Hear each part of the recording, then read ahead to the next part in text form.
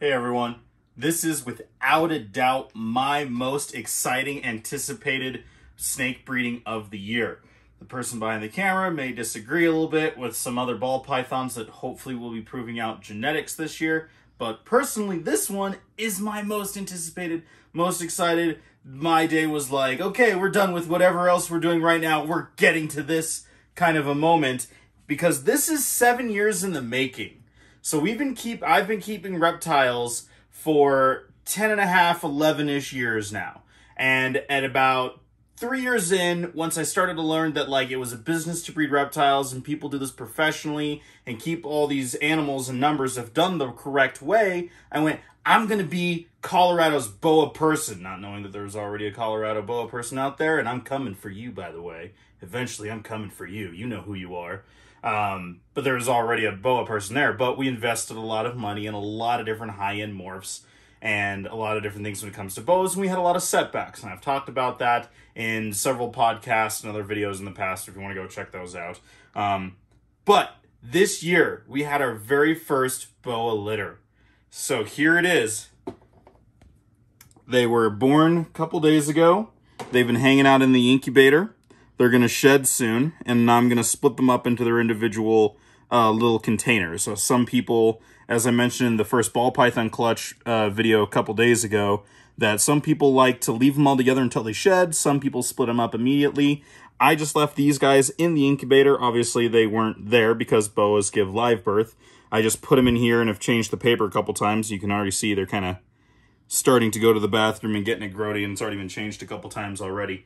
But super excited for this pairing. I love boa constrictors. I've always said I'm a boa guy.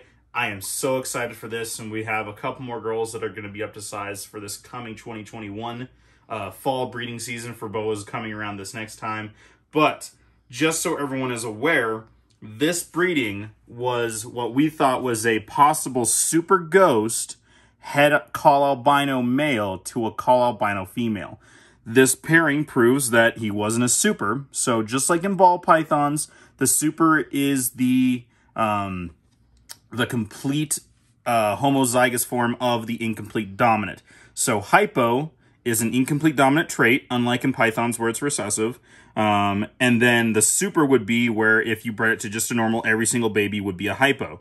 Clearly that's not the case because we have some normals here and some regular albinos. Um, but that's okay. Totally fine with that. Um, so Church, who was our ghost, het albino, bred to Upsilon, who was acquired under somewhat dubious circumstances. Um, and maybe at some point I'll get into that when I do like a full like boa like show off video or something like that. But we have a really cool collection of these guys. So basically what we have here is we have, this is the hypo. So that is the hypomelanistic, and then it will be double het for albino and anery type 1 so basically, this thing will be Het Moonglow. And so for anyone who doesn't know about Moonglow genetics, that is a three-gene animal where it's a visual hypo, a visual Kahl albino, and a visual anery type 1, which looks really cool. All the ones that aren't hypo will be Het Snow. So we have a sunglow, a sunglow, albino, albino, albino, normal, normal, hypo, hypo, hypo. And so all of these are het anery. They're not showing it because Church was a visual anery. So all these guys are going to be really cool. I don't know if we're going to hold on to any of them, if any.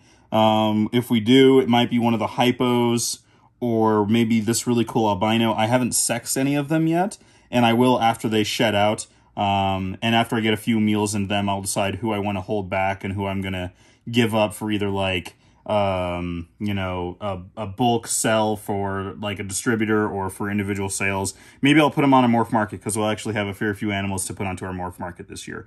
But we'll see. But anyway, just super, super excited for these ones.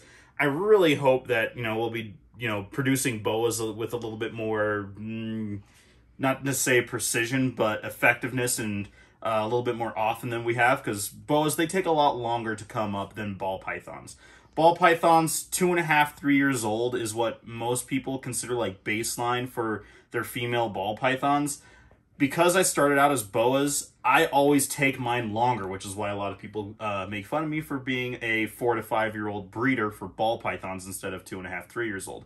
Most of our boas that we'll be breeding will be five to seven years old, at least, because they that we like to slow grow our animals. We want to have long, healthy lives, and we don't want to burn them out by breeding every single year. So that's why even our ball pythons skip years, just like our boas do, and will continue to do so.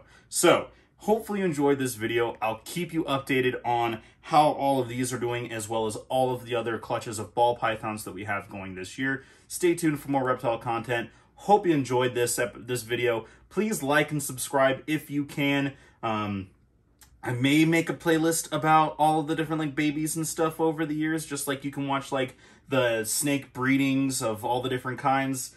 But you know, I have plenty of other playlists and other things you want to check out. Please check those out if you can. Subscribe, click the playlist, helps my click through rate, lets YouTube know that I exist. Uh, and hope you're having a great day, and we'll check you next time.